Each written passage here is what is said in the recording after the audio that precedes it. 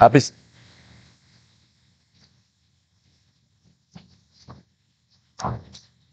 Sabbath, everyone. Let's try that one more time. Sabbath. God is good. And all the time. We are experiencing a shaking. You believe that? But it's nothing new. It was prophesied. It must take place because the church must be purified. Amen? Thank you for allowing me to be in the midst of you on this beautiful Sabbath day to worship God with you. Before we begin our study this morning, let's have a word of prayer.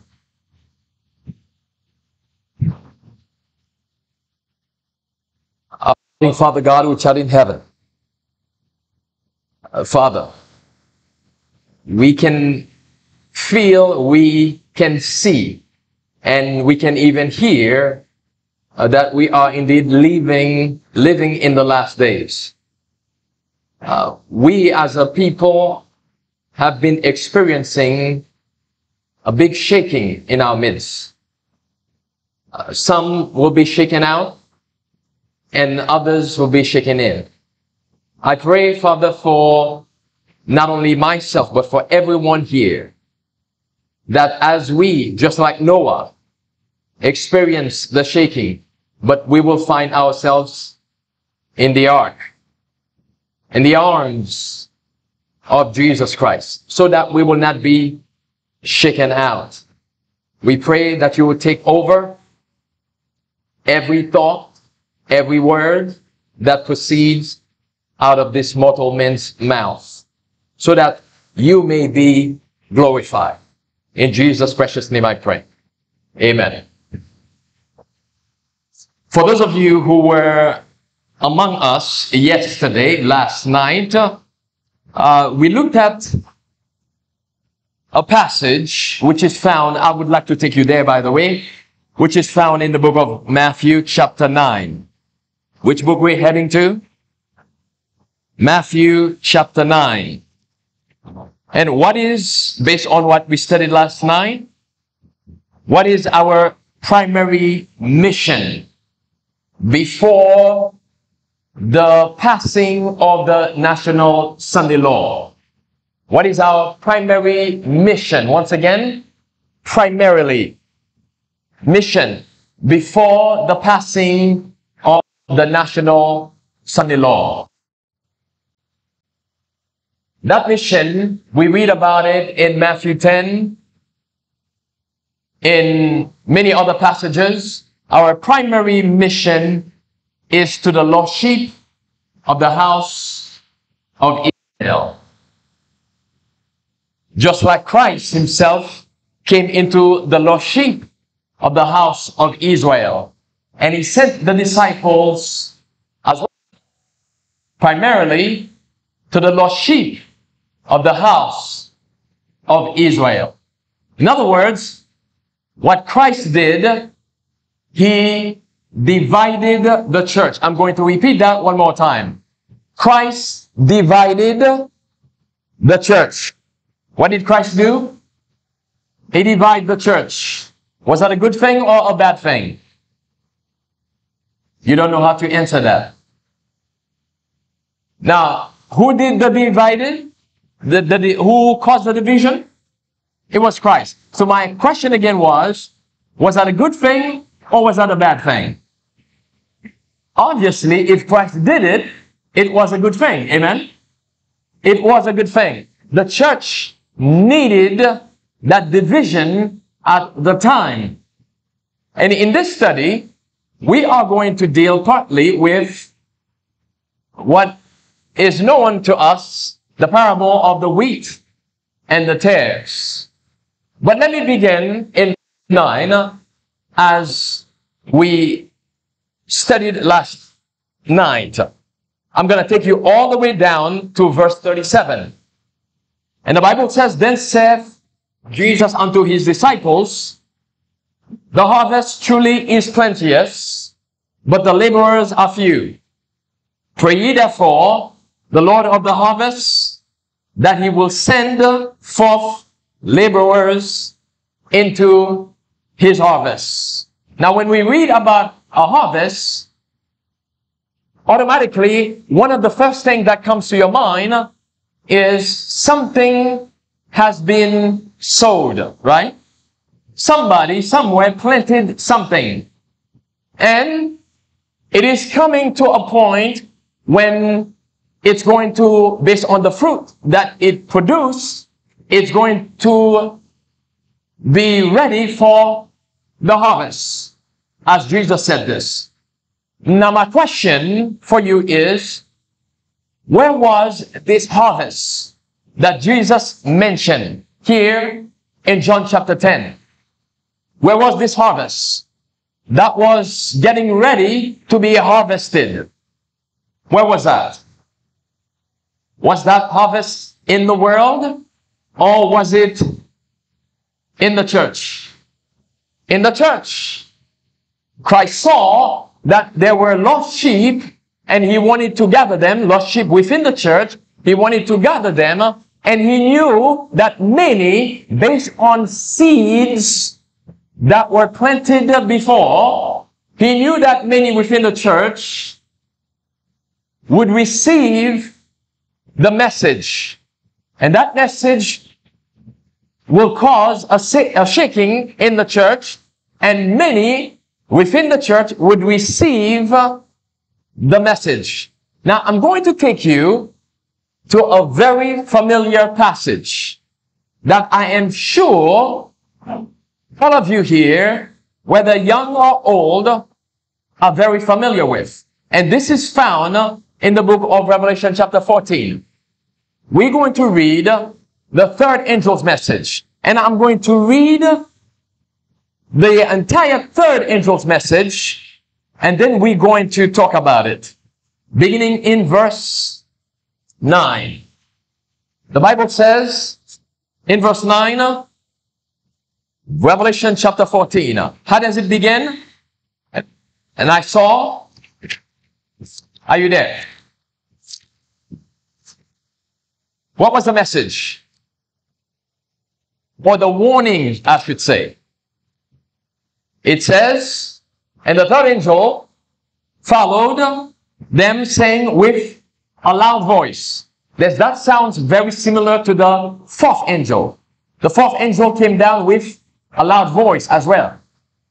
With a loud voice saying, if any man worship the beast and his image and receive his mark in his forehead or in his hand, the same shall drink of the wine of the wrath of God, which is poured out without mixture into the cup of his indignation, and he shall be tormented with fire and brimstone in the presence of the holy angels and in the presence of the Lamb. And the smoke of their torment ascendeth up forever and ever.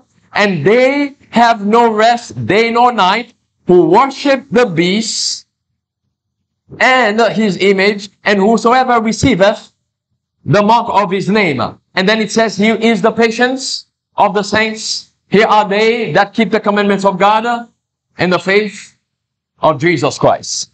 That is the third angel's message. Now, I am going to ask a question because I know that you are very well acquainted with this passage that we just read from chapter 14 of the Revelation, verses 9 through 14. I know that you know the answer, or I let me back up you should know the answer. And here's the question. Primarily, who is this passage addressing here? Who is the main target? Who must receive this warning primarily? Which church? The Seventh Adventist Church. Now, the passage is dealing with what? Can you tell me what the passage is dealing with? Verses 9 through 11, or all the way down to 12. But especially 9 through 11. It's dealing with the mark of the beast and what else? The image of the beast and worship, right? Mark of the beast, image of the beast, and uh, worship. Now, did God, I, I'd like for you to keep that in mind.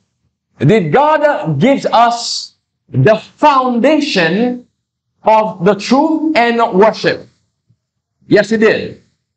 Did you know, brothers and sisters, many of us, we have read this passage, we've heard sermons about this passage, and we always apply it to Babylon, right? To those who are in the world. But did you know that this passage is connected, is primar- primarily a warning to Seventh-day Adventists? It is primarily a warning to you and I. And that passage is connected also with the parable of the wheat and the tares. Now, let me take you to Luke chapter 3. Where are we heading to? Luke chapter 3. And let's begin in verse 17. Luke chapter 3. Where are we heading to, saints? Notice carefully in Luke chapter 3. The Bible says in verse 17,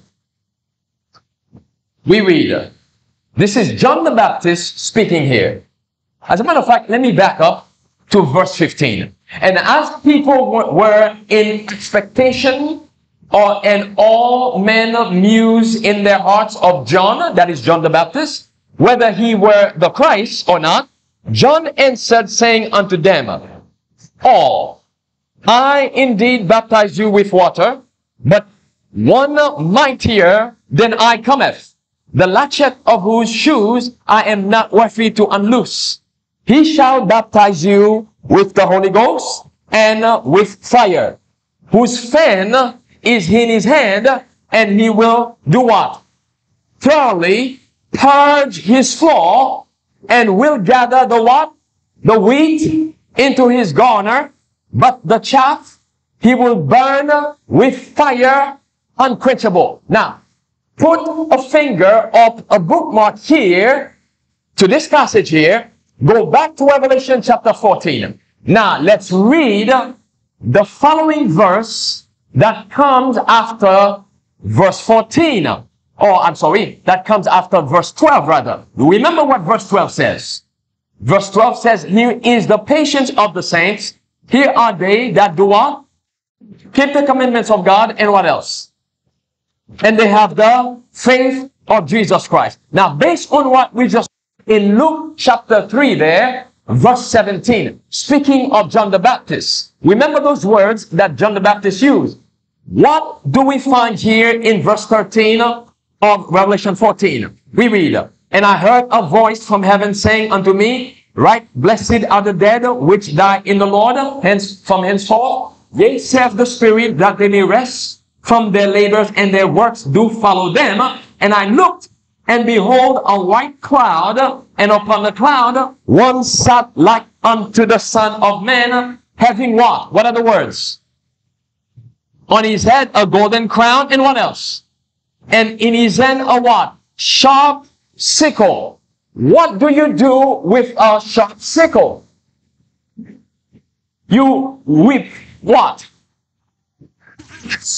Previously, there was a harvest. Now, one more time. Remember, I said keep a finger or a bookmark in John chapter 3. Notice the same language, or I'm sorry, Luke chapter 3. Notice the same language or the similar language that we find as well in Luke chapter 3. Now keep in mind, John the Baptist was the forerunner of Jesus Christ, wasn't he? Talk to me now. John the Baptist was what? The forerunner of Jesus Christ. Now, before the second advent of Jesus Christ, there must also be some forerunners. And uh, the Bible described them as the hundred and 44,000.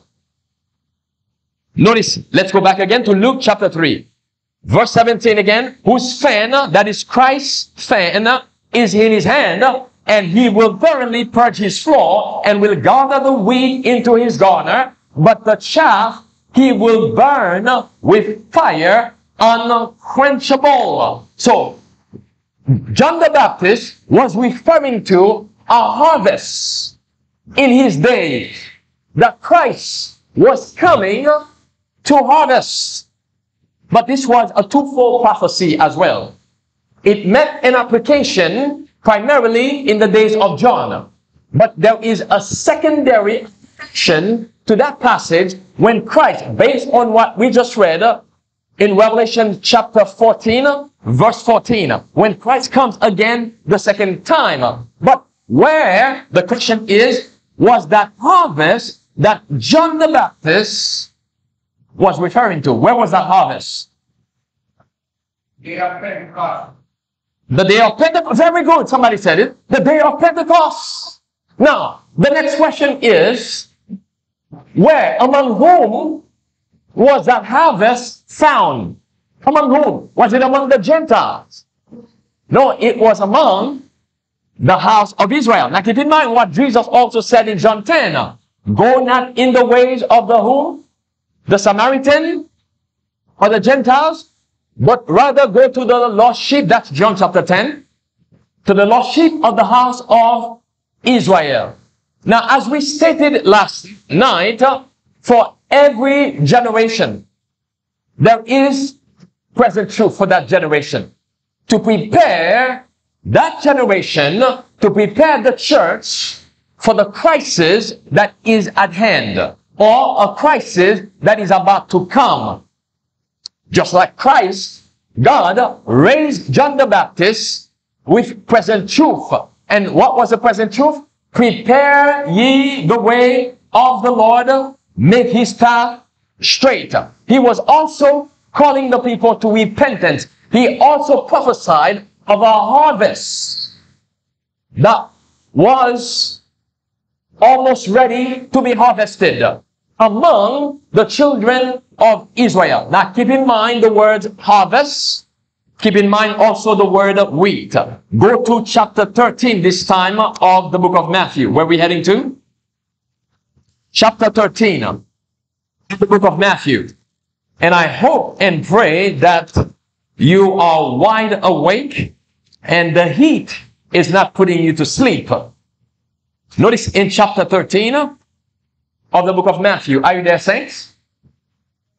And the Bible tells us in verse 24, Another parable put he forth unto them, saying, The kingdom of heaven is likened unto a man which does what? Sowed good seed in his field. But while men slept, what happened? His enemy came and sowed tares among the wheat.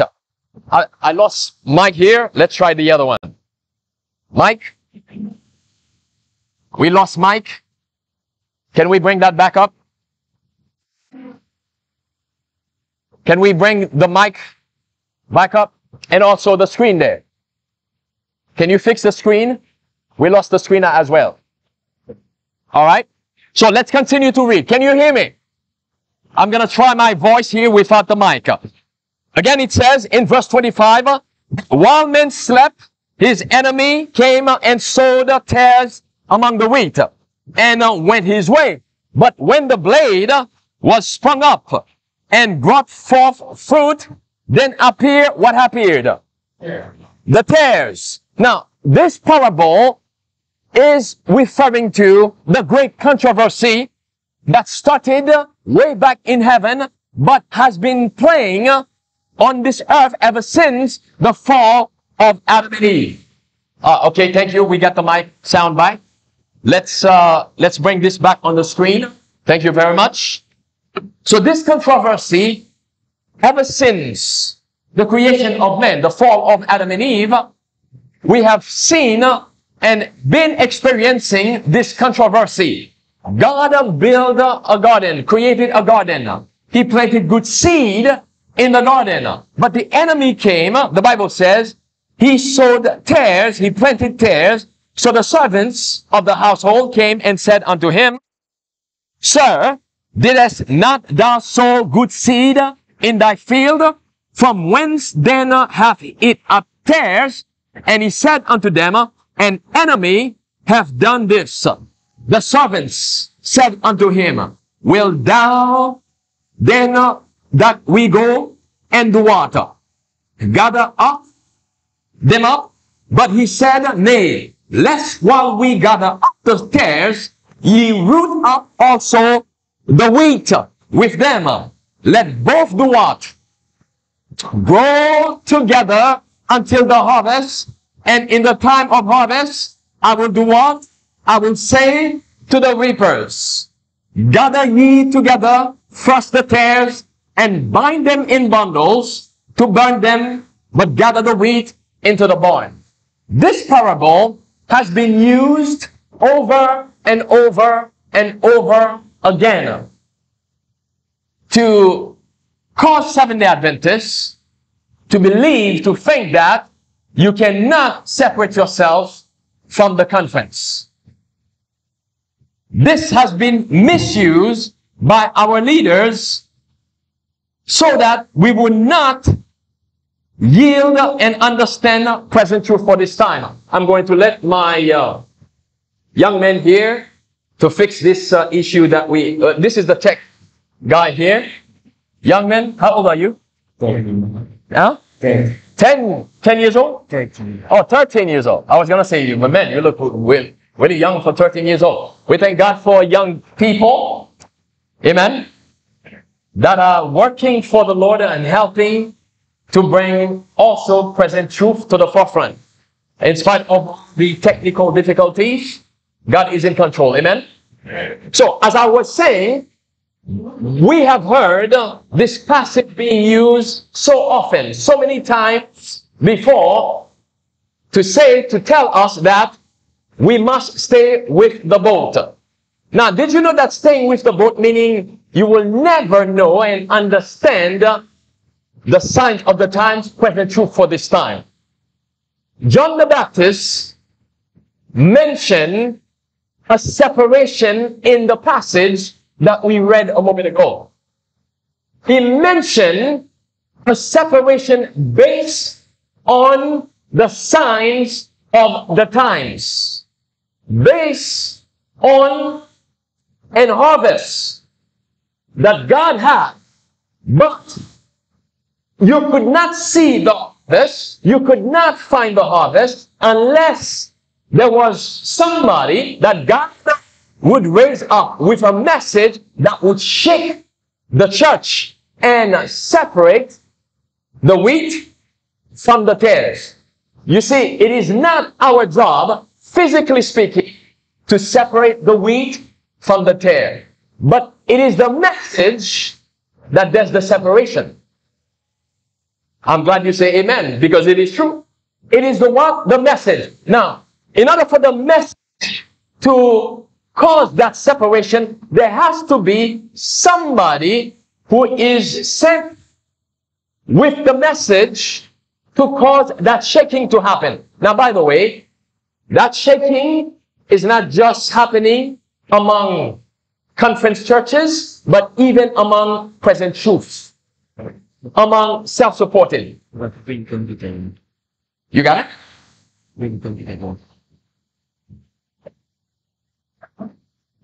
Let's go back.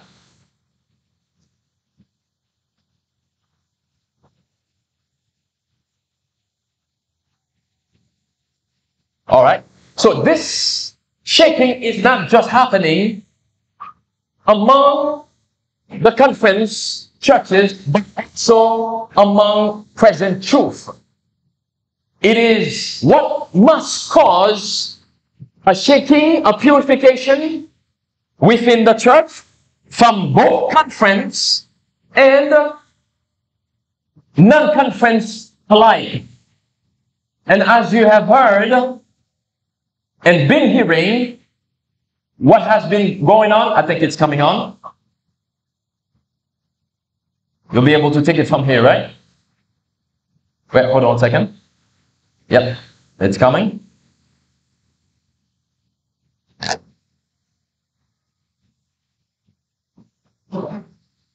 Let's pull that.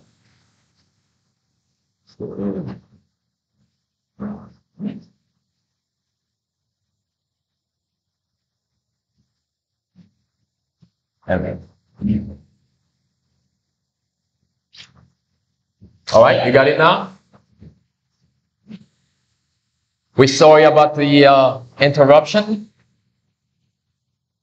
And I hope somebody is praying to get this back online as he's trying his best to bring it back on. So we must experience a shaking, and that shaking produces an harvest. And that harvest will bring about what the Bible describes as the first fruits. What does the, the Bible calls it? The first fruit. Meaning a purification will take place within the church and God will have then a purified church ready to present, to proclaim the loud cry message to the world. But as we are told, judgment must begin first in the house of Israel. That part of judgment also purifies the church. Is it back on over there? Not yet.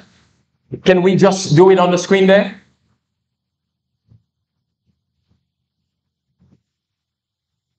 Can we just do it on the screen? Just control it on the screen. Is it going over there? Yeah, let's cancel this one.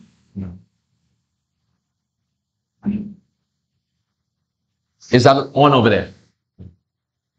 It's not on?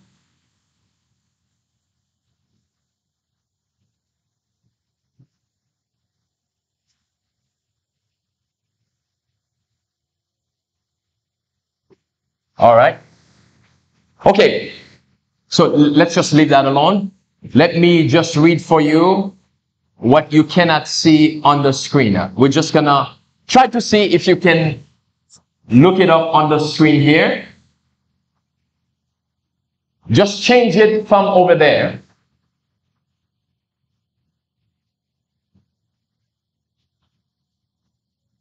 Okay, now let me recap. We've had a distraction here. Let me recap.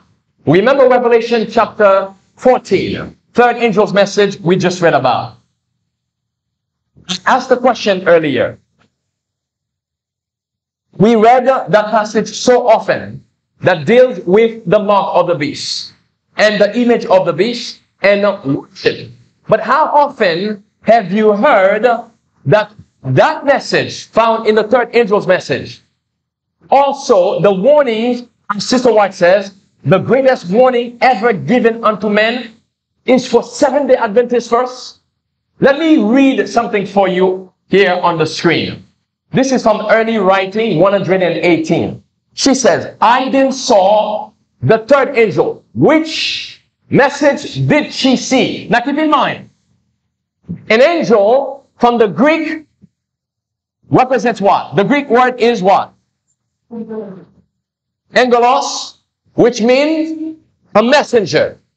Right? Are you with me? It's a messenger.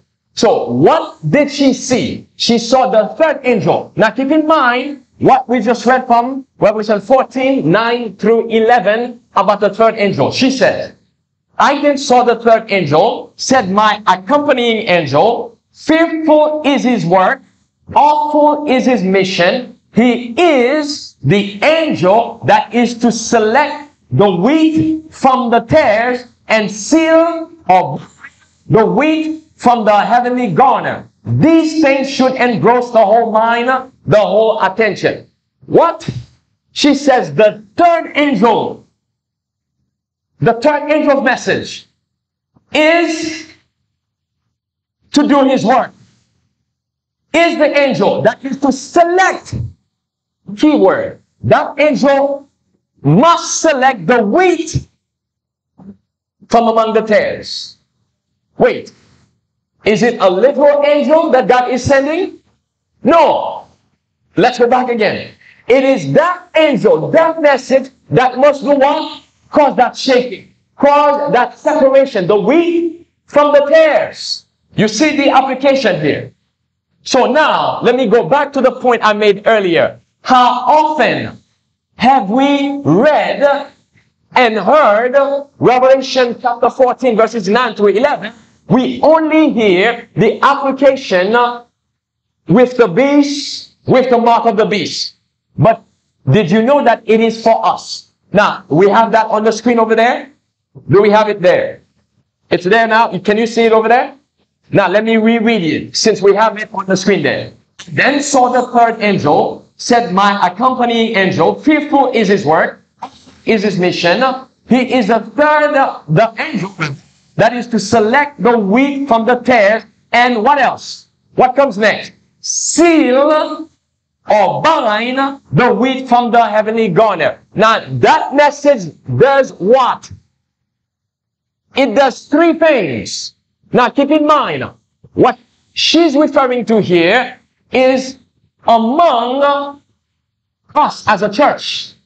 It will do three things among us as a church, as a people. It will do what? What's the first one? It will do, come on, talk to me now. What's the first one? It will separate the wheat from the tares. Now, question for you. The separation of the wheat and the tares is not dealing with the world. It's not dealing with the world. No. This is dealing with the church. What is the second thing it will do? It will seal. And the third thing is it will. Now, what does sealing mean? What does sealing mean?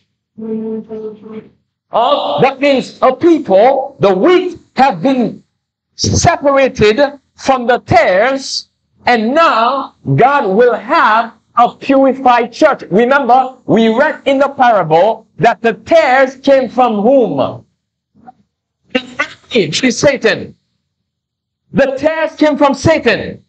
God, from among his church, must separate the wheat from the tares and the first separation is being done by the proclamation of the message. And then as we read earlier from Revelation 14, 14, the second, the last separation, which will be the physical one, will be done by the second coming of Jesus Christ. But the message, just like John the Baptist, must separate the church first just like John did in his days.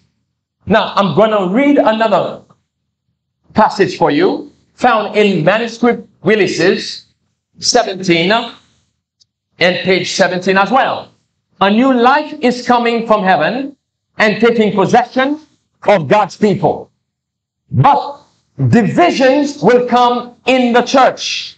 Two parties will be developed. And then she says, the wheat and the tares grow up together for the harvest. Now, here is the key here.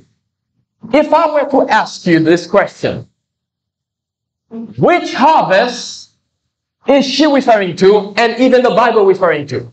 Which harvest? Did you know that there are two harvests?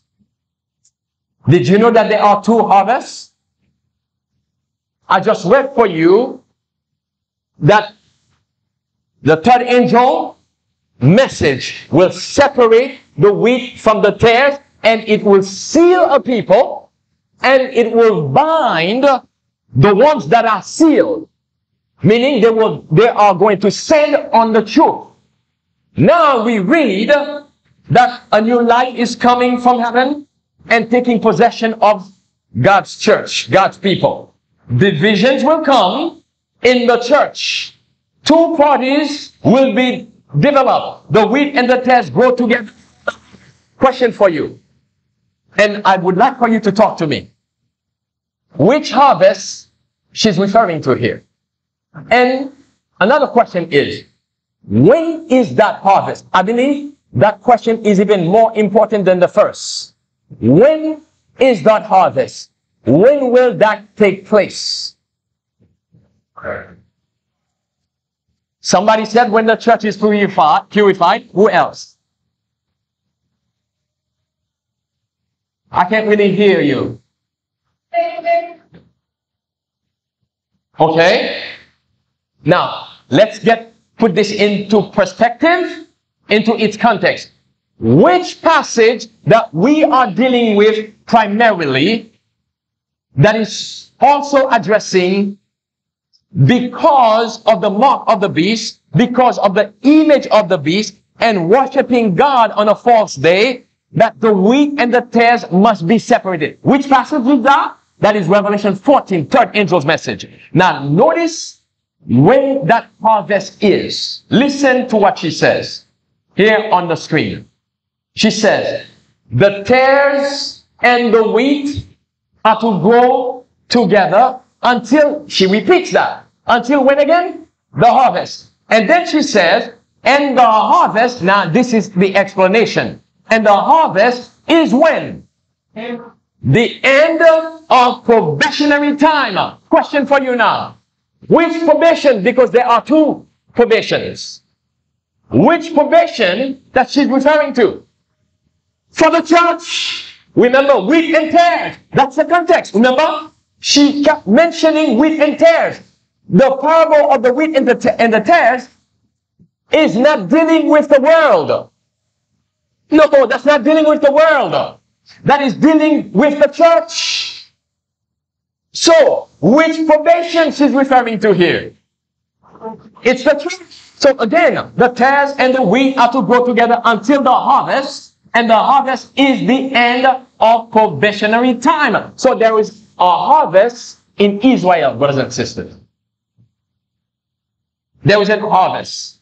But the end of probationary time, what time is that? Based on Bible prophecy. The Sunday law. It's the Sunday law. Oh, God will must have a people ready by the time the Sunday law is enacted.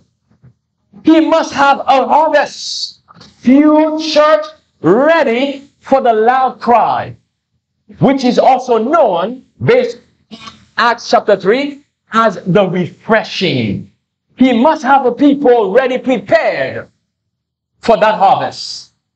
And it's coming. It's coming. Let me spend a little time here in Acts chapter 3. Notice carefully with me. That is the refreshing, as I mentioned a moment ago. We need that refreshing, brothers and sisters. Amen. We don't we don't we need it? Yes, brothers and sisters, we need that refreshing. Listen carefully, speaking of the refreshing. Remember, they were preaching in Israel, present truth in the name of Jesus Christ. Verse 12. And when Peter saw it, he answered unto the people, ye men of Israel. Notice again, addressing whom? Israel. Why marvel ye at this? Or why look ye so earnestly on us as though by our own power or holiness we had made this man to walk? The God of Abraham, Isaac, Jacob, the God of our fathers have glorified his son Jesus, whom ye delivered up and denied him in the presence of Pilate when he was determined to let him go. Question for you, brothers and sisters. Based on what Jesus, or I'm sorry, Peter just said here, you denied him before Pilate when Pilate was willing to let him go. Revelation chapter 13 and 14. Well, let me go back since we're dealing with chapter 14. One of the warnings that we read about in chapter 14 is in regard to the image of the beast. What is the image of the beast? Speak up, please. Church and state, very good. Most of the time when I ask this question, somebody said the mark of the beast. No. Uh, or Sunday sacredness. No, it's different. It's church and state. What came together to prosecute Christ? Church and state. Peter just said this here. He said they gathered together with Pontius Pilate. They, that is the religious leaders. They created the image of the beast to persecute Christ. Listen carefully. But he denied the Holy One and just and desired a murderer to be granted unto you, and killed the Prince of Life, whom God hath raised from the dead, whereof we are witnesses, and his name through faith in his name hath made this man strong, whom ye see and know, yea, the faith which is by him hath given him this perfect soundness in the presence of you all. And now, brethren, I want that through ignorance ye did it, as did also your rulers. But those things which God before had showed by the mouth of all his prophets that Christ should suffer, he hath so fulfilled. And then what's the appeal to the house of Israel? Repent ye therefore and be what? Wait, does that mean there are some in the church that needs conversion? Then he goes on to say, that your sins be blotted out when the times of refreshing shall come from the presence of the Lord. What is the time of refreshing? Thank you. That is the same time as the probationary time. That is the same time as the Sunday law. That is the same time as the loud cry message. That is the same time when the 144,000 will be fully sealed. That is the same time this is referring to here. That's the refreshing. And uh, as we read, that is also the same time that that harvest will be ready. But the message, just like the message of John the Baptist, must shake the church to prepare the church for the harvest, to prepare the wheat for the harvest. What is the next crisis that will determine this? It's a national Sunday law. That is the next crisis that will determine this. And as the leaders fell the first crisis, and as I mentioned yesterday, the pestilence crisis that God allowed to come upon the church and the world, it was not for the leadership of Seven Adventists. It was for the members because the leadership has been in apostasy long, long, long ago. God was shaking the members, was shaking the church to see if they will go along with the leadership telling them to follow the science. Did you know, brothers and sisters, that now they are telling us, based on climate change, which again calls for Sunday law, they are telling us the same thing to also follow the science. Let me take you back to the screen. Notice this headline. We read from Fox News, The View, co-host, Sunny Hostin blames eclipse. Remember the eclipse that just took place? Remember that? Back in uh, Monday, I believe it was. And then it says eclipse, cicadas on climate change. The View co-host, Sunny Hostin blame Monday's solar eclipse, Friday's earthquake, and the expecting cicada breeding season on what? climate change, all those things together would maybe lead one to believe that either climate change exists or something is really going on. So if you have a cold today, it's because of climate change.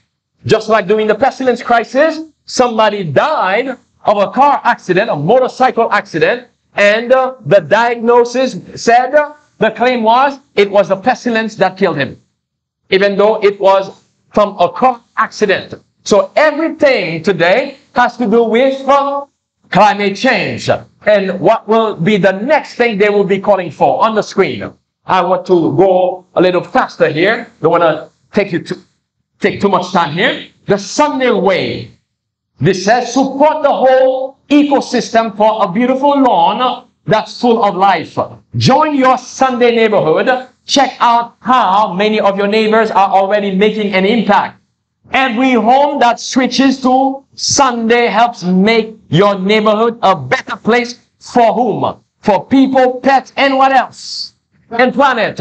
While your neighbors are switching to Sunday, you don't have to spend hours researching. We do the plant. And what's the next word?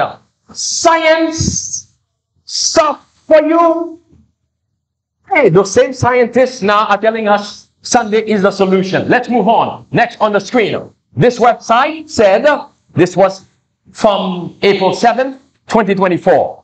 Slow Sunday challenge. It's hard for some people to get into the lifestyle routine of picking and keeping to a weekly Earth Sabbath day. So, what better way than taking a slow Sunday challenge for two months and start by just slowing down. Take the challenge and I'm sure you start to see the, what's the word? Benefits and joys of keeping a weekly Earth Sabbath day. Now, brothers and sisters, I would like for you to prayerfully think about those things that we are reading about. On the surface, it seems very innocent. But what they are calling an earth Sabbath is what the Bible refers to, based on Revelation 14. If any man worship the beast, receive his mark in his forehead. That is the mark of the beast we are reading about here. Earth Sabbath is a counterfeit Sabbath. Earth Sabbath, as Daniel 7.25 says, he shall think to change times and law. Earth Sabbath replaces the Sabbath of Jehovah. And there will be penalty, penalties for not observing the Earth Sabbath, which will be Sunday, by the way. Notice what Spirit Prophecy tells us here. Now, this is where the great controversy comes to us. As the controversy extends into new fields and the minds of the people are called to God's downtrodden law, Satan's, Satan is astir, the power attending the message only maddens those who oppose it. The clergy. Now, clergy, that would be the pastors, right? The clergy put forth almost superhuman efforts to shut away the light, lest it should shine upon whom? Upon their flocks. By every means, at their command, they endeavor to suppress the discussion of these vital questions. The church appeals to the strong arm of civil power, and in this work, papists are solicited to come to the help of Protestants. Hey, what's what's happening? We have something else playing here. Can we turn that off? Why am I hearing myself uh, on another screen here speaking? Thank you very much. Now, I would like for you to focus on what I just read. We got distracted here for a moment. What we just read, the question for you is, whom is she referring to here? Whom is being addressed here? Now, one more time. For those of you who cannot, who are sitting on that side, perhaps you cannot see the screen very well. Let me reread that for you and try now to pay attention to the words. Are you with me now? It says, as the great controversy or the controversy extends into new fields, and the minds of the people are called to God's downtrodden law, Satan is astir. The power attending the message only maddens those who oppose it. The clergy, that is the pastors or the leadership, put forth almost superhuman efforts to shut away the light, lest it should shine upon their flocks. By every means, at their command, they endeavor to suppress the discussion of these vital questions.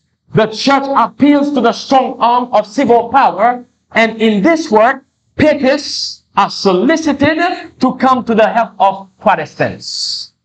The church, it says, appeals to the strong arm of civil power. What is civil power? That is the state.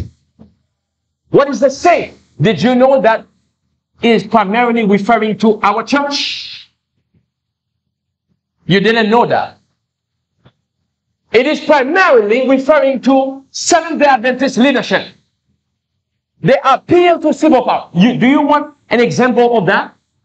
How, in light of climate change, for example, in light of the pestilence crisis, didn't the church appeal to civil power? Didn't our leadership receive millions, if not billions of dollars from the civil power? Yes. And because they made an alliance, a partnership with civil authority, civil power, how did they coerce us to take the poison. They said, we will not give you religious exemption. And it is part of our health message. Are they doing the same thing for climate change? Are they appealing to civil power as well to do something about climate change? Here's an example of that, and I quoted this before. This is from the General Conference website. The dangers of what? Climate change. Despite the clear risks, governments appear slow to act. The world membership of the Seventh Adventist Church requests that who the governments concerned take steps necessary to avert the danger of climate change by fulfilling the agreement which in the Rio de Janeiro 1992 Convention on Climate Change. For what reason? To stabilize carbon dioxide emissions by the year 2000 at 1990. Now this was written way back in 1995. And the Seventh-day Adventist General Conference, just like the United Nations, the media, and the government, way back then, they were promoting this lie that came from Rome that if we don't do something about climate change, reduce population. How many of you are old enough to remember Y2K? Yes. Remember Y2K? They said by the year 2000, the earth was going to be destroyed by climate change. Wait, this is 24 years later now. We are still here. So, we see the leadership reach out to the government and telling the government to take action to combat climate change, even saying to stabilize carbon dioxide emissions. Question for you. How do you stabilize carbon dioxide emission? What is the best way to do that? Reduce the population. Reduce the population. Now, this is well documented. N notice another one. Adventists in environment preservation drives. We invite everyone to join us in this important endeavor and be part of the environmental safeguarding and climate action. Those words came straight from Rome. Do you see why the message of Revelation 14, 13, 12 message is first for us to separate the wheat from the tares because the warning is if any man or woman worships the beast and his image, what will happen to that person? And we see this mark on his forehead. What would happen? The same shall drink of the wrath of God, which is poured out without mixture into the cup of his indignation. He shall be tormented day and night. The message is first for us, brothers and sisters. Because Sister White says, the third angel's message, separate the wheat from the tares.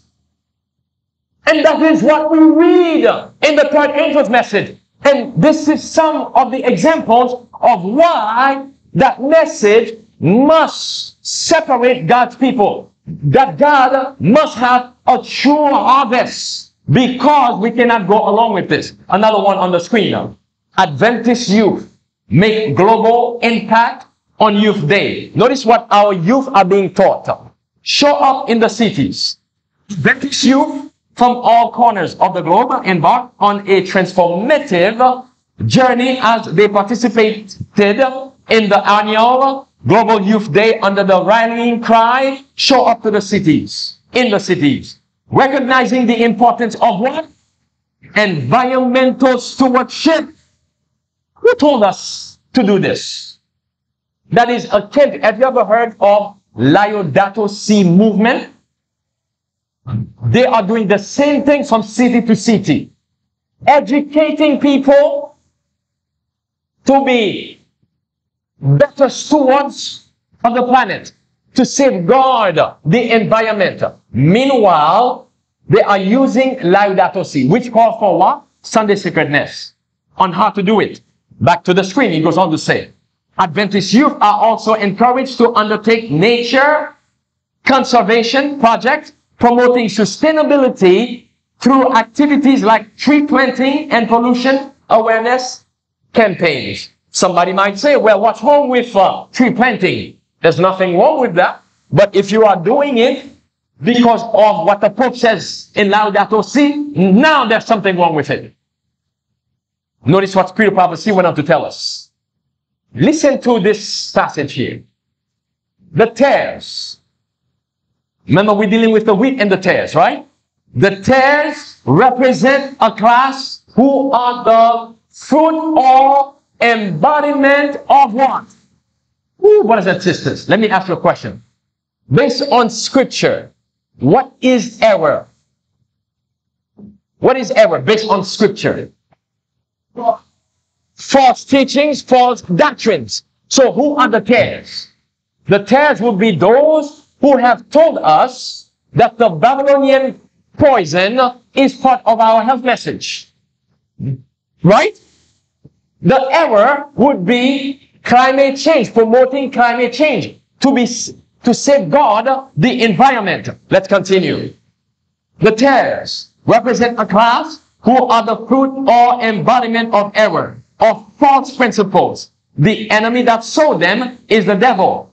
Neither God nor his angels ever sowed a seed that would produce a tare. The tares are always sown by whom? Satan, the enemy of God and man. So now we know based on what the Bible says in Spirit Prophecy that we have uh, tares among us and Satan is the one who planted them and we know without a shadow of a doubt now that the third angel's message must separate the wheat from among the tares. Right? Here's another reason. This says Catholic, Christian groups share faith-driven plan for climate adaptation with Congress. So who's behind this whole climate hoax? The Roman Catholic, the Pope. At the event sponsored by Catholic Relief Services, the offices of Sens, Bill Cassidy, and Tim Kaine, those are head of states or politicians, National Latino Evangelical Coalition, National Association of Evangelicals, Evangelical Environmental Network, Laudato Si Movement, Kingdom Mission Society, Catholic Climate Covenant, what else? Jesuit Conference Office of Justice and Ecology, World Relief and World Vision, participants discussed the need to help vulnerable communities adapt to changes in climate. Who's behind the whole climate hoax?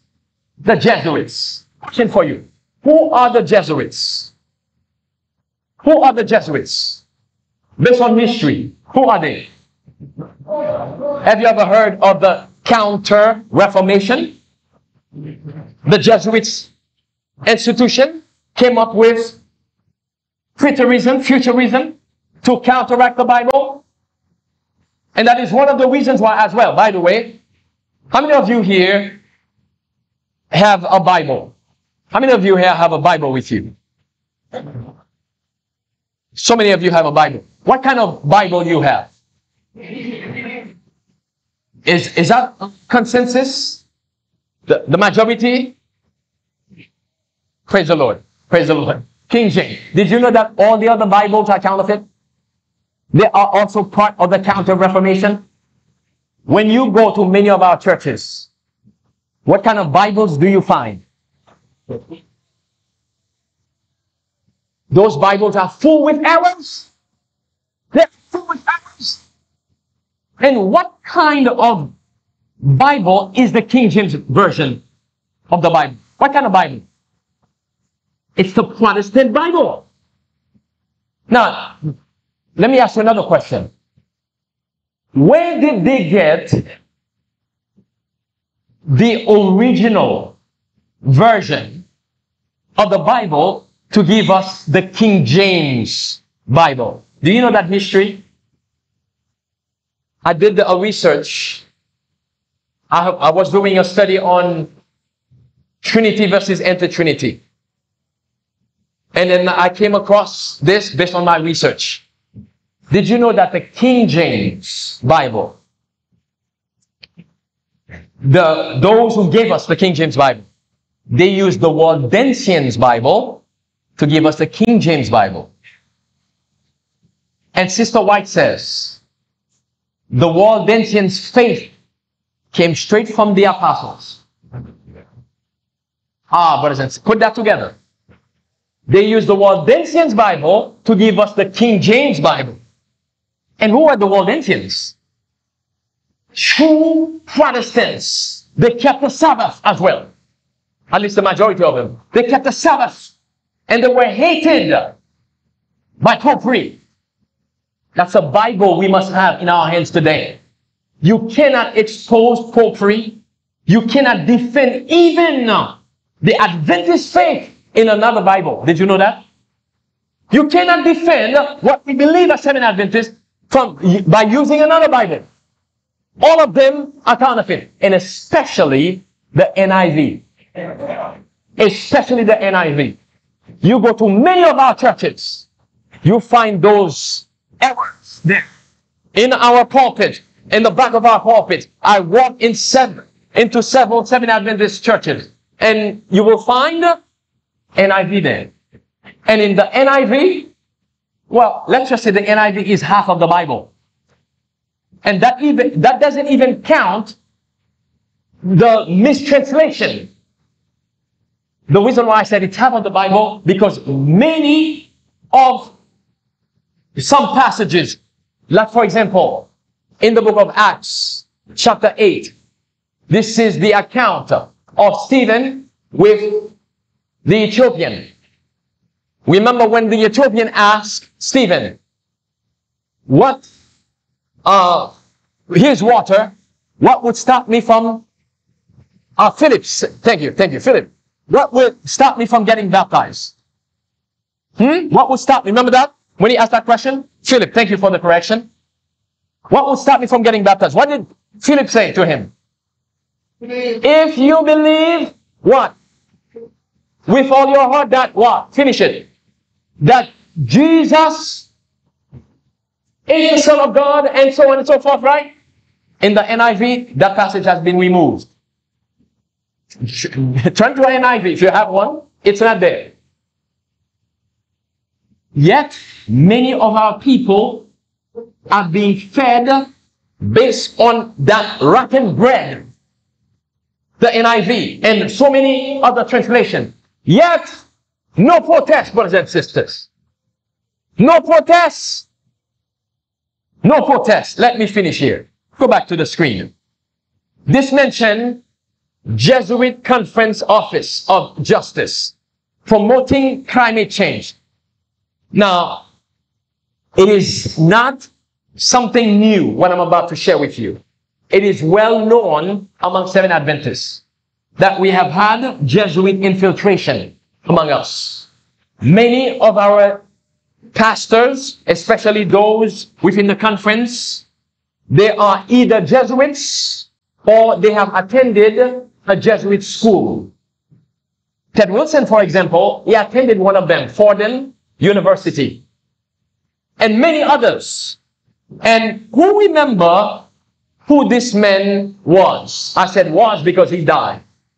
Who remember who, who, who knows who this man was? Do you know his name? You wait, nobody knows who that man who, who that is on the screen? That is Samuel Bacchiocchi. Have you ever heard the name before? You need to know your history. That is Samuel Bacchiocchi. Now, look at the picture carefully. He has those three fingers. He's holding those three fingers like that. Do you know where that came from? That's pure paganism. Who was Samuel Bacchiocchi? He was one of the leaders within GC. He attended a Jesuit school and look at what he's wearing. This was at his graduation from that Jesuit school. Now, if we zoom in, go to the next picture. This is what you find on his clothes. You see the IHS? Do you know what the IHS is? Huh? That's, that's a symbol for the Jesuits. That's what is on his chest. Eh, his chest. Here is his Jesuit certificate from the University of, notice it says Gregoriana. That's the Jesuits. And this man was one of the leaders among Seventh day Adventists, teaching heresies among Seventh Adventists. Yes, he's, he spoke some truth, but remember, one, if one percent of it is error, the whole thing is error.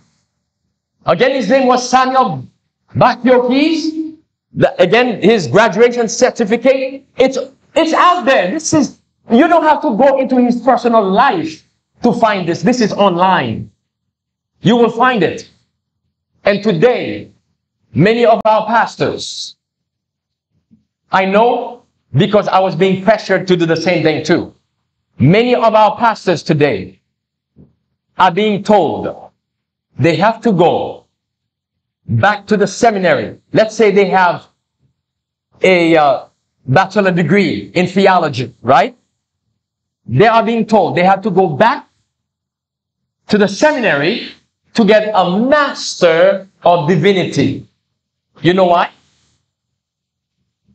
Because doing that course, Master of Divinity, now you are being taught spiritual formation. It's the indoctrination that came from the Jesuits. Spiritual formation came from the Jesuits. Do you know, brothers and sisters, who was on board, on the board of Andrews University that approves spiritual formation to be taught at Andrews University? It was Ted Wilson. But in 2010, at his acceptance speech, he said, stay away from spiritual formation. When he was one of the leaders on the board of at Andrews University who approved it. Do you know what year that was when they approved it? Can anybody here take a guess? I'm, I'm giving you some history here. Can anybody take a guess what year it was? Now, let me give you a clue. They say, never let a good crisis go to waste, right? Never let a good crisis go to waste. Now, that's a clue for you. Somebody says 2019? 2015? Huh? 2020? Okay. Now, come on. You should have done, you should have done the, ma- uh, the math already. Remember he said in 2010 to stay away from spiritual formation. Remember that? So that means he has to be prior. has to be prior. Do you know, again, the clue was never let a good crisis go to waste. You know when that was approved among us? Say it again. 9-11. 2001. 9-11. That's when it was approved. While everybody was looking over there, the leadership was doing something over that way. Yes, never let a good crisis go to waste. And many of us did not know what was happening because everybody around the world was focusing on 9-11. 9-11, while the government was taking away our freedom. Meanwhile, the church was bringing spiritual formation that came straight from the Jesuits to be taught at our university. Today, I know many pastors, some of them I'm friends with. Even recently, one of them, he had uh, three churches in the state of Oregon, in the US. He had three churches, but because he only had an MDiv, MDiv means Master of Divinity. By the way, how do you master God? Because the word divinity means, mean, right? God is divine. How do you master God?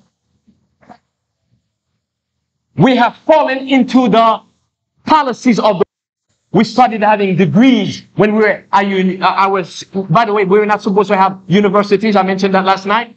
And uh, because we have been following the policies of the world, now we have uh, uh, BS, uh, uh, and we have uh, uh, Master of Divinity, we have uh, PhD, which stands for Permanent Head Damage. And all of those things came from the Jesuits, and we are being taught those things. Now, our pastors are being told that not only you need a Master of Divinity, you also need to go for your PhD. I know a pastor friend of mine. He already had a Master of Divinity, but the conference told him he had to go get a PhD. And he had to leave his three churches because that's how they indoctrinate you. And then he's going to come back to his church and breathe those Ignatius Loyola's spirit upon the church. Let's move on.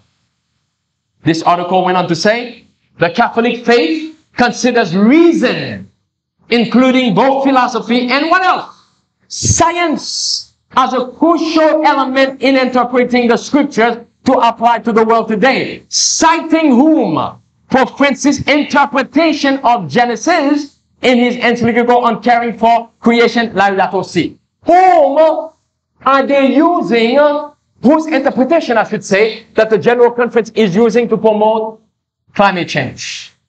The Pope interpretation, the Jesuits interpretation, the same way on the screen. Those men use the same so-called science interpretation to coerce Seventh day Adventists to take the Babylonian poison. All of them on the screen coerce you. They said, no, we will not give you a religious exemption. And then why took it? Paul got bit by a snake, so it's okay to take the snake shot. And many other lies we were told. And now we are being lied to accept climate change. What's coming? Sunday law, brothers and sisters. Listen to what Spirit Prophecy says. The Lord has shown me clearly. Listen carefully. Now I want you to remember Revelation 14, third angel's message we just read. Listen carefully. The Lord has shown me clearly that the image of the beast will be formed when? Before probation closes. Pause. What did she says previously and also from the Bible about the probation? That time is what time? Which probation she's referring to here? Is it the, the, remember two probations? There is the church's probation and then there's the close of probation. Which one she's referring to here? The church. That's Seventh-day Adventists. At that time, the harvest will be ready to be right. Judgment must begin in the house of God, right? Probation closes for the church. National Sunday law is passed. And then the refreshing has come down. The latter rain. And then what happened next? God has a pure church at that time, sealed, ready to preach Revelation 18.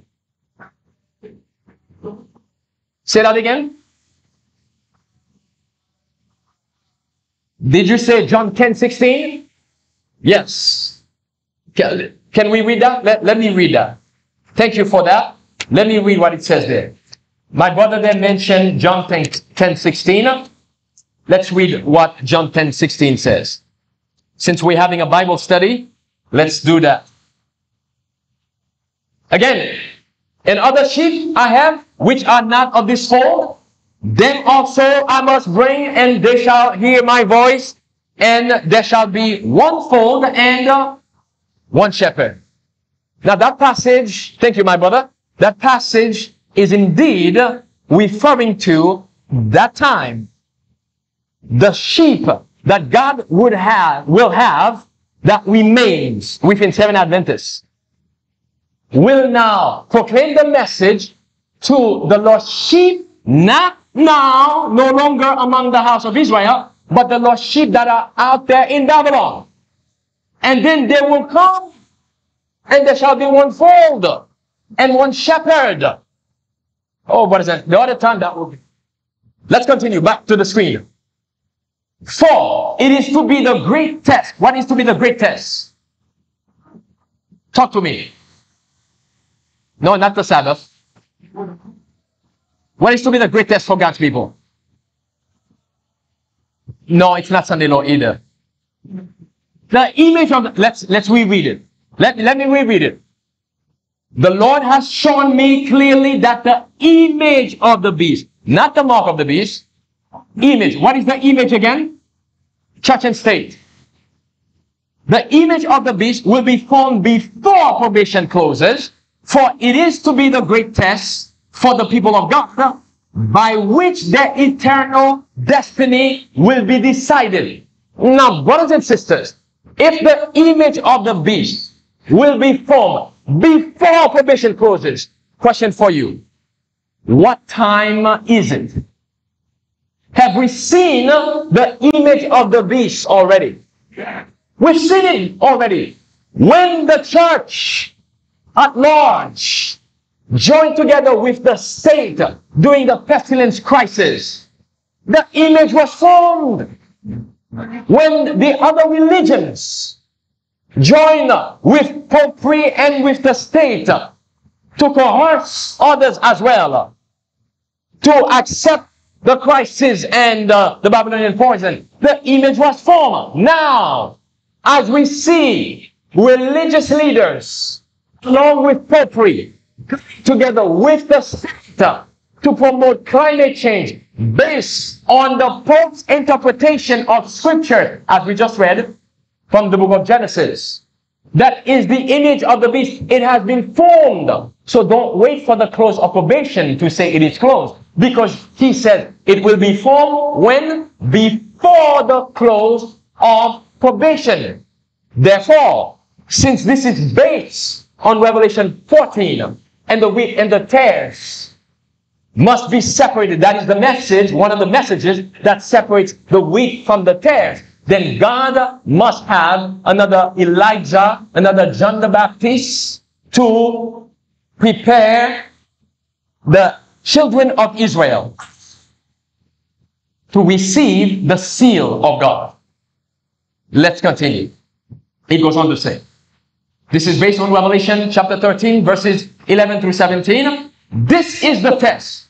That is the image of the beast is the test that the people of God must have before they are what? Sealed. Oh, brothers and sisters.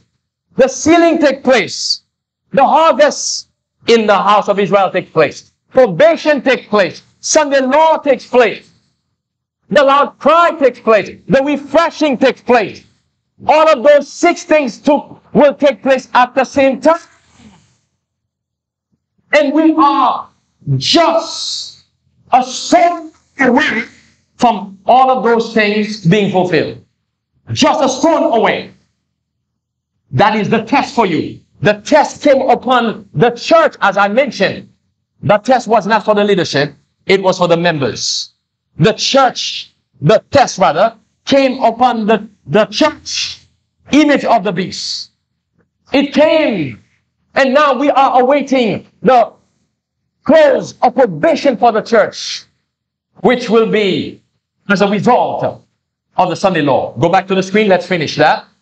All who prove their loyalty to God by observing His law and refusing to accept a spurious Sabbath, that is Sunday, will reign under the banner of the Lord Je- God Jehovah and will receive the seal of the living God. Those who yield the truth of heavenly origin and accept the Sunday Sabbath will receive the mark of the beast. Do you know what this is also saying? Meaning the majority of seven Adventists, and I hope none of us here will keep Sunday. The majority, wait, did somebody say amen? Okay. okay, I got, I understand you. I understand. No problem. The majority of seven Adventists will keep Sunday. This is not me saying Spirit Prophecy said the majority of seven Adventists we know today will be lost. Those other sheep, as my brother mentioned in John chapter 10 verse 16, that are not of this fold, they will replace those seven Adventists. They will replace us. Yes, sister. Uh, because of the fan, I cannot hear you very well. Because of the health message. Yes.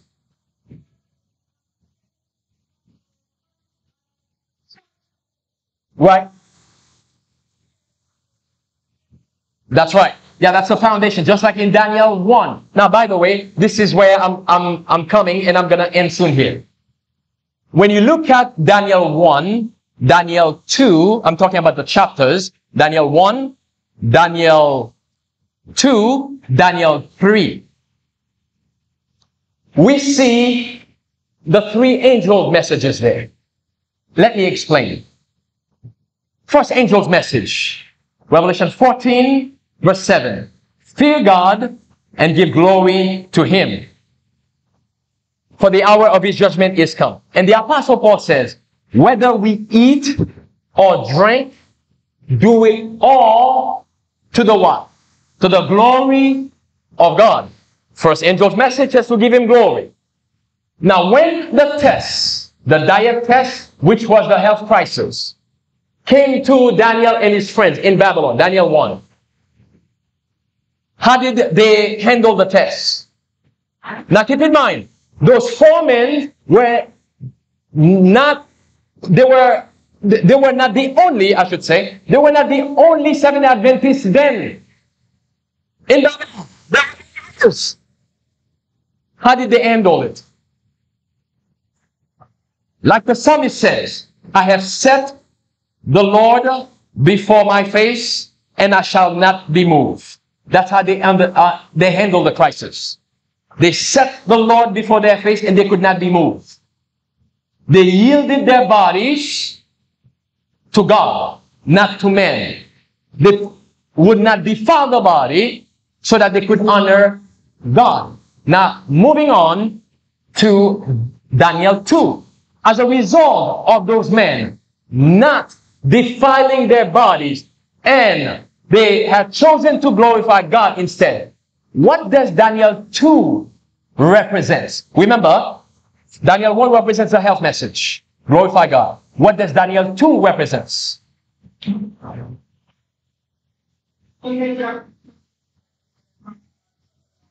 What happened in Daniel 2? Nebuchadnezzar had a dream, right? Nebuchadnezzar had a dream. He saw a what? An image. You see the word image there? He had, he saw an image. And that image was a com combination, a composition of different metals. And then at the feet of it, you had clay. Different nations. The rise and fall of nations. Right? Rise and fall of nations. Did Nebuchadnezzar and his astrologers, soothsayers, did they understand the, the dream? Or even the meaning of the dream? Okay. Whom did God give understanding, wisdom of what the dream, of what the dream meant? Why? Because they passed the first test. Because, first angel's message. Now keep in mind. Image of the beast. Right? Now, image is set up. We are being commanded to worship. Now we go to Daniel 3 now. If you pass the first test, then you will understand prophecy, which is Daniel 2, understanding of the prophetic events. Now Daniel 3 now, you have been already grounded, cemented. Now you will not bow to the image. You will not bow to the image. And that is the third angel's message. Israel then was separated. There was a division in Israel. Three men stood up while the rest of the Israelites bowed. Now, here is my application to this.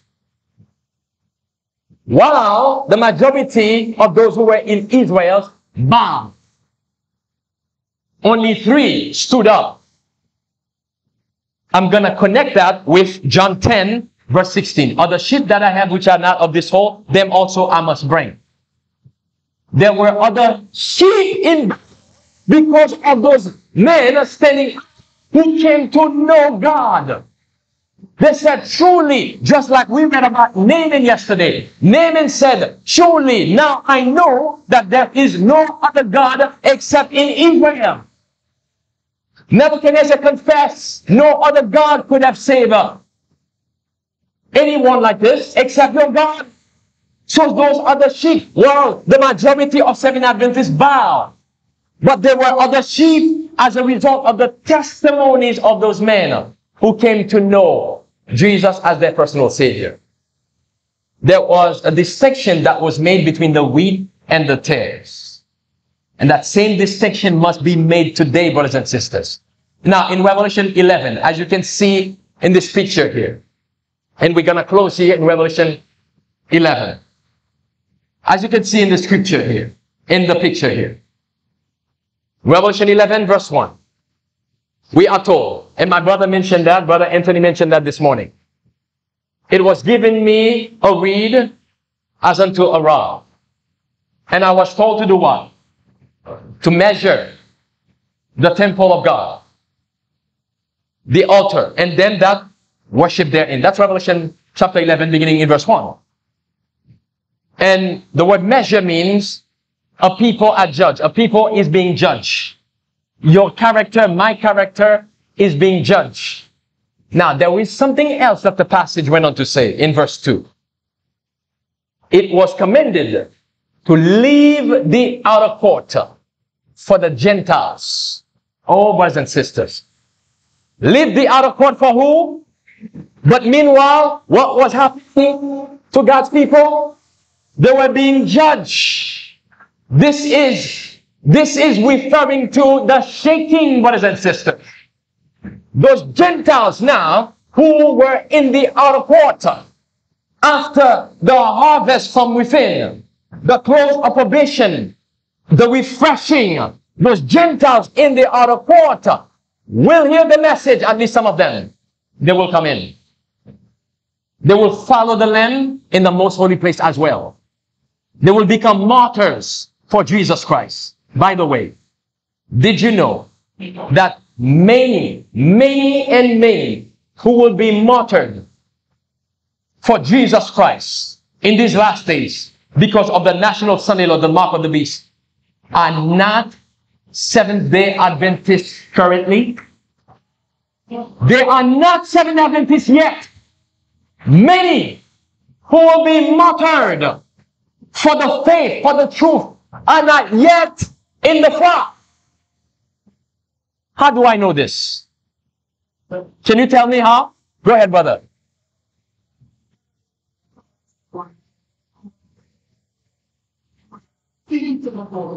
Uh huh. Yes. Amen. There?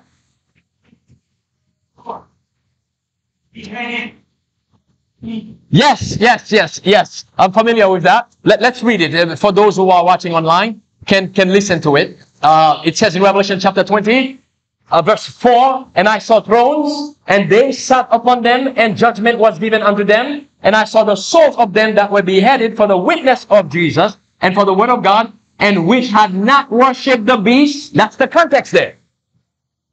The context is the end time here, because it says, they had not worshipped the beast, neither his image, neither had received his mark upon their foreheads or in their hands, and they live and reign with Christ a thousand years. Now, brothers and sisters, this is not referring to current day Adventists that Jesus. You know why? Here's another reason.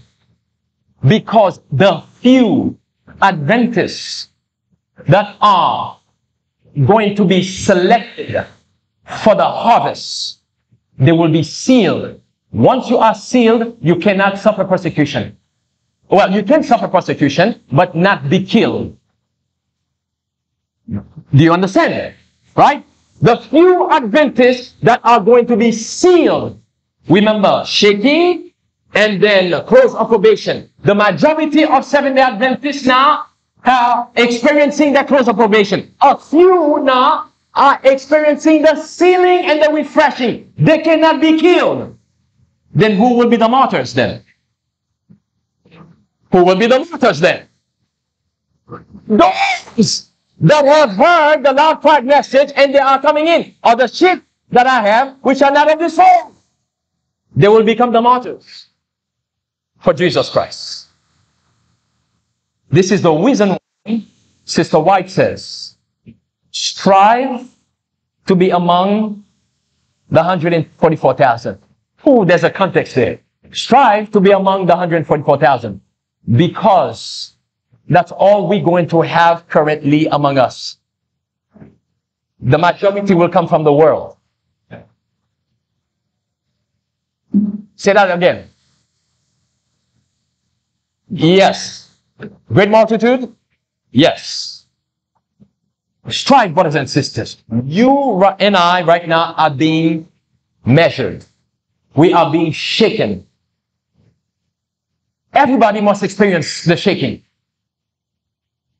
Noah experienced it, but he experienced it inside of the boat, which represents Jesus Christ. Let us, brothers and sisters, confess all of our sins. Doesn't matter what you have done. Men will continue to condemn your past. But look unto Jesus, the author and finisher of your faith. Let's have a word of prayer.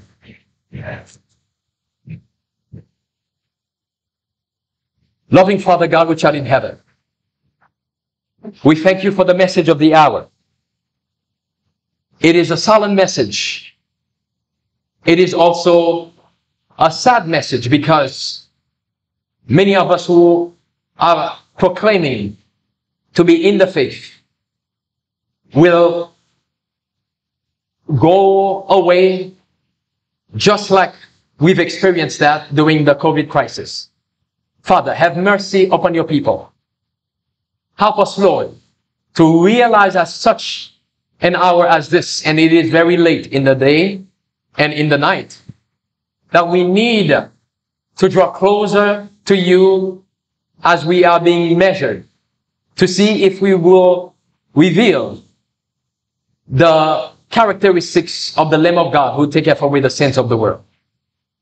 Help your people now to have their eyes open to see our need of you, to see the seriousness of the time that we are living in, and to be ready for the harvest, to be among those who will be harvested, to be ready for the shaking, the shaking that is taking place, and also ultimately to be ready for the refreshing, which is what the church needs now. We ask for forgiveness of all our sins in Jesus' name. Amen.